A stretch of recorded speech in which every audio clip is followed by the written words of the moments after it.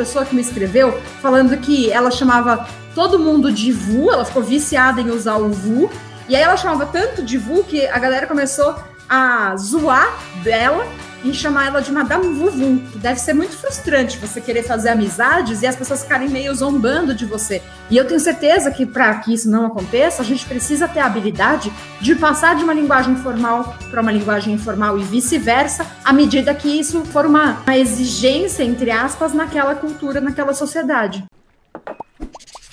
Domine o francês informal versus o francês formal.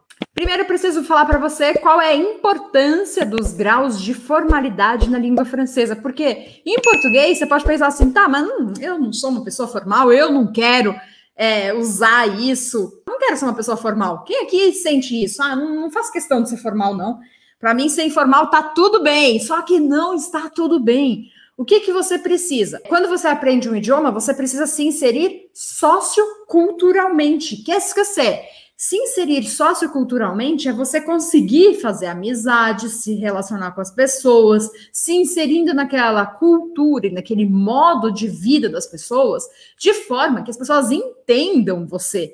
Porque não tem coisa pior do que você fazer uma piada e as pessoas acharem que você está falando sério. Ou você está falando sério e as pessoas acharem que você está fazendo uma piada. Ou você está querendo ser educado e as pessoas acham que você está sendo deselegante, mal educado. Você precisa saber quais são os cuidados que você precisa tomar na linguagem para não ser mal interpretado. Como que a gente faz isso? Primeiro, sabendo em francês quando é que eu uso a linguagem formal, quando é que eu uso uma linguagem mais informal e não me perdendo nessas situações. Hoje mesmo no meu Instagram eu abri uma caixinha ontem de perguntas, perguntando qual que era o maior mico que as pessoas já vivenciaram por conta da língua francesa. Tem uma pessoa que me escreveu falando que ela chamava todo mundo de VU, ela ficou viciada em usar o VU, e aí ela chamava tanto de VU que a galera começou a zoar dela e chamar ela de Madame Vuvu. Eu já fiquei imaginando que deve ser muito frustrante você querer fazer amizades e as pessoas ficarem meio zombando de você.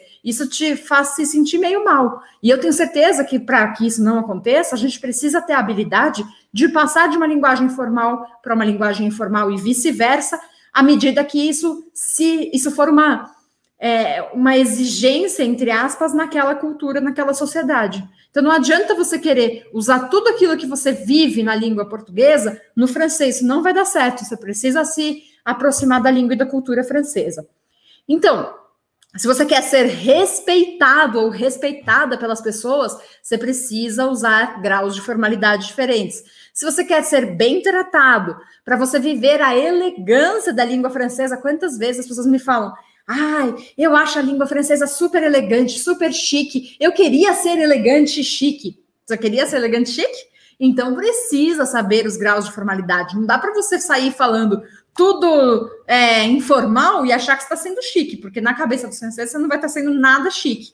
Assim como não dá para você querer ser pomposo e chique em situações que exigem de você que você seja mais descolado, descolada, entendeu? E aí, o último ponto que eu tenho que falar para você aqui é para que as pessoas entendam o que você quer comunicar. Eu lembro sempre de um amigo meu japonês que, quando a gente morava em Londres, ele falava malemar, ele falava bem mal o inglês, né? E aí, ele, um dia, tipo, último dia da primeira semana de aula, um professor falou assim: Ah, eu queria saber se alguém gostaria de saber, de falar alguma coisa. Aí ele levantou a mão, e aí, enfim, ele era japonês, bem daquele jeito assim, bem japonês de ser, não sei se vocês sabem do que eu tô falando.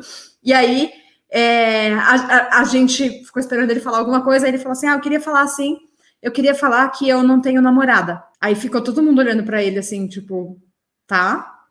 Era uma escola de teatro físico onde tinha pessoas de 16 nacionalidades diferentes, uma escola internacional.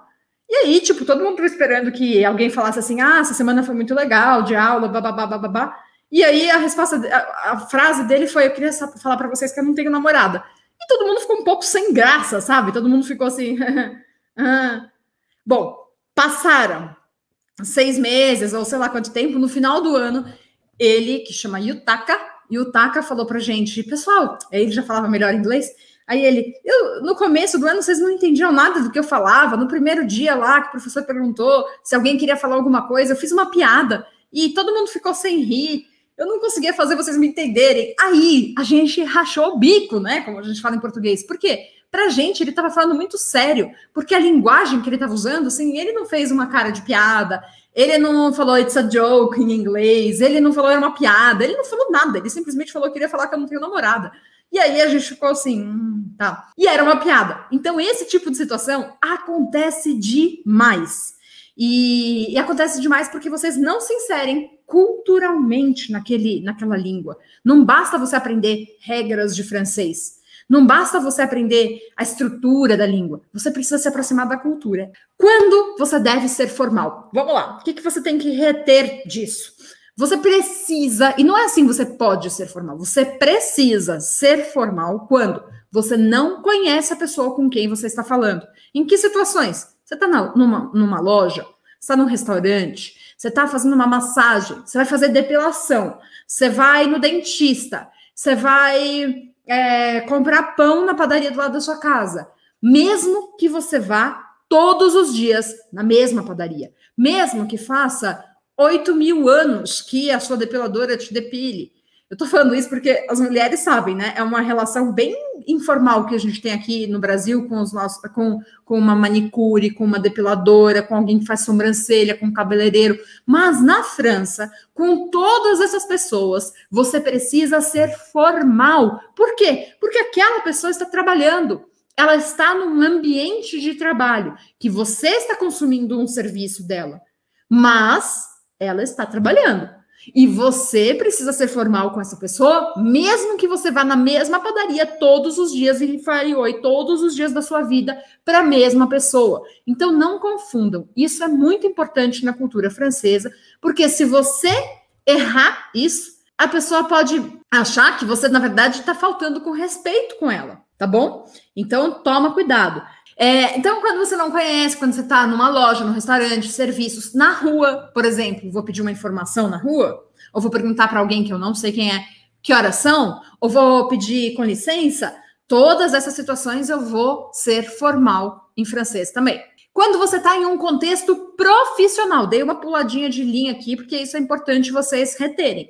Você está em um contexto profissional ou educacional? O que, que são contextos profissionais ou educacionais? Vamos colocar várias situações. Eu sou secretária em uma é, empresa. Todo mundo, não só o meu chefe, meu chefe, minha chefe, com certeza, mas todo mundo da empresa eu tratarei de forma formal, porque eu estou num contexto profissional naquela, naquela situação, naquele ambiente. Eu vou usar uma linguagem formal digamos que eu não seja a recepcionista, né? Eu sou a secretária, mas eu não sou a recepcionista. Com a recepcionista, que aqui no Brasil eu poderia ter uma certa proximidade com ela, mas em francês, em países de língua francesa, você vai tratar as pessoas em um ambiente profissional de forma formal. Ah, mas eu comecei a trabalhar num lugar e eu quero me aproximar das pessoas. Posso usar a linguagem informal? Não, não pode usar a linguagem informal e não fica chateado comigo. É assim. Você está aprendendo uma língua, mas eu quero que você entenda. Se você não quer que cortem errado o seu cabelo, se você não quer que o garçom cuspa no seu prato, pelo amor de Deus, seja formal com as pessoas. Tá? Tô brincando, ele não vai necessariamente cuspir no seu prato, mas vamos vamos entrar na cultura da pessoa para que ela não, não ache uma desculpa para tratar mal a gente. E quando você quer mostrar respeito pela pessoa, eu vou dar um exemplo. A minha prima casou com o Samir e o Sam frequentou muito a casa da minha avó, muitos e muitos anos. Mas a vida toda ele chamou a minha avó de Vu e de, de Madame não, mas ele sempre usou Vu como uma forma de mostrar respeito pela minha avó. Mesmo que a minha avó dissesse para ele, tu peux me tutoyer, ela dizia para ele, você pode me tratar de tu, mas ele passou a vida toda querendo mostrar respeito por ela e usando o vu com ela. Então, recapitulando aqui, quando que eu preciso ser formal? Toda e qualquer situação profissional ou que em uma das duas pessoas esteja em uma situação profissional. Eu vou usar o VU quando eu não conheço a pessoa e quando eu quero mostrar respeito pela pessoa. Ah, mas no meu trabalho as pessoas usam o tu entre elas. Presta atenção. Profissionalmente, as pessoas podem usar o tu apenas com pessoas que têm o mesmo nível hierárquico. Eu sou júnior na posição que eu ocupo, entre os júniores eu posso usar o tu, mas com alguém que seja pleno ou sênior eu não vou usar o tu.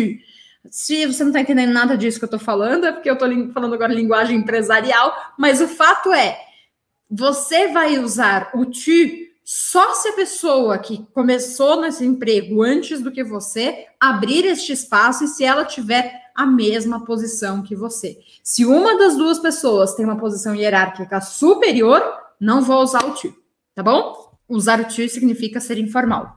Vamos ao próximo slide. Então, como que eu vou ser informal? Como que eu vou ser formal? Então, você vai usar o pronome vous. Nada de você falar com a pessoa. Aqui em português, aqui no Brasil, a gente fala você quer não sei o quê, você não sei o que lá, você passou um bom final de semana, a gente sempre usa o você. Em francês, o você seria tu.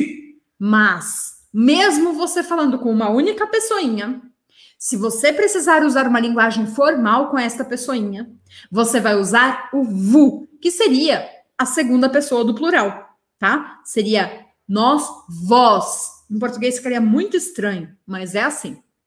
Você vai também usar as expressões monsieur e madame. Monsieur significa senhor, madame significa senhora, e você vai usar isso se você quer ser mais formal. Conjugue os verbos na segunda pessoa do plural, como eu disse, para vous. Então você vai falar assim, ao invés de falar é, me dá um copo d'água, ao invés de falar Donne-moi un verre d'eau, você vai falar Donnez-moi un verre d'eau. Tá vendo? Não dá para você só ser formal ou só ser informal.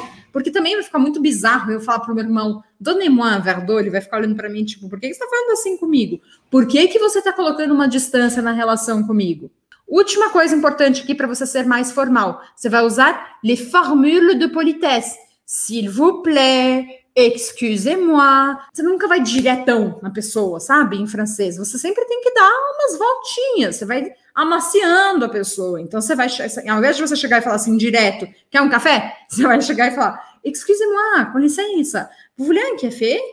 Você gostaria de um café? Então você vai amaciando a relação. Você não chega assim com os dois pés no acelerador, beleza? Então isso é bem importante vocês prestarem atenção, tá? Parece detalhinho, mas não é. Quando então eu uso uma linguagem informal, informal? Eu uso uma linguagem informal apenas com amigos e familiares, só. Mas vocês viram que eu falei há um tempinho atrás que tem o marido de uma prima que tratava a minha avó de vu a vida toda, porque ele queria mostrar respeito a ela. Mas de modo geral, dentro das famílias, a gente costuma usar o tu. Algumas poucas famílias fazem com que os filhos chamem os pais de vu, mas isso gera uma distância, uma relação bem distante assim com os pais, com os avós, etc, tá? Em contextos profissionais, como eu já, já disse, só com colegas do mesmo grau de hierarquia e só se o colega que entrou antes naquele trabalho te autorizar, né? Ele começar a usar o tu com você, ou ele de fato te dizer, ah, você pode usar o tu como que fala, tipo, você pode usar o tu?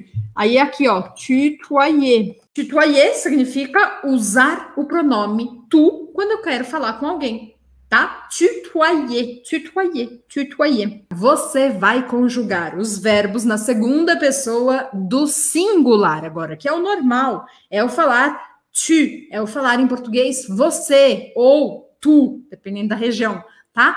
Você vai usar também expressões mais informais. Você, ao invés de falar só bonjour, bonsoir, você vai poder usar salut, coucou. Existem outras expressões em francês, não só para falar oi, por exemplo, que são é, expressões mais informais mesmo da língua francesa. Então, vou, vou ser informal usando tu, usando expressões informais, conjugando os verbos na segunda pessoa do singular.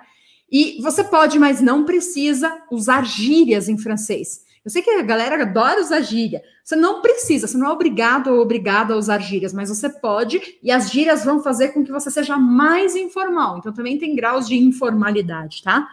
E também é importante que você continue usando o formule de politesse, mas essas serão conjugadas com a segunda pessoa do plural, do singular. Então, ao invés de você falar s'il vous plaît, por favor, você vai falar s'il te plaît, por exemplo. Espero que vocês tenham gostado aqui da nossa aula de hoje. Bisou, tchau!